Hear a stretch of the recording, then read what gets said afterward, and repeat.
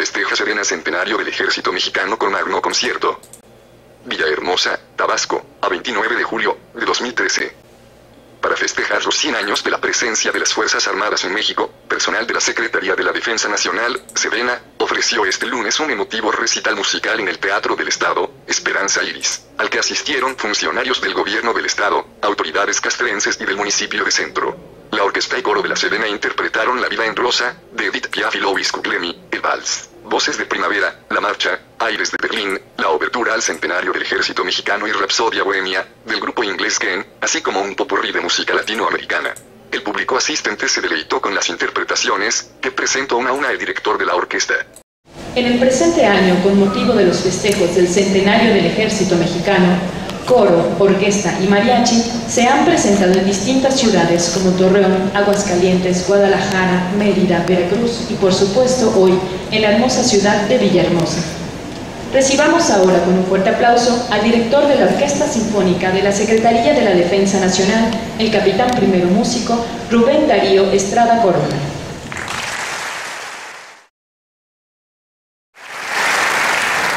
Con motivo de la celebración de este centenario del ejército mexicano, la Secretaría de la Defensa Nacional comisionó la composición de una obra que fuese alusiva a, esta importante, a este importante festejo. Así nace la obertura al centenario del ejército mexicano. Es una obra del maestro Enrique Quesadas que escucharemos a continuación. Y esta música acompaña también eh, un video de la Secretaría de la Defensa Nacional, el cual ustedes podrán apreciar en la pantalla que tenemos al fondo del escenario.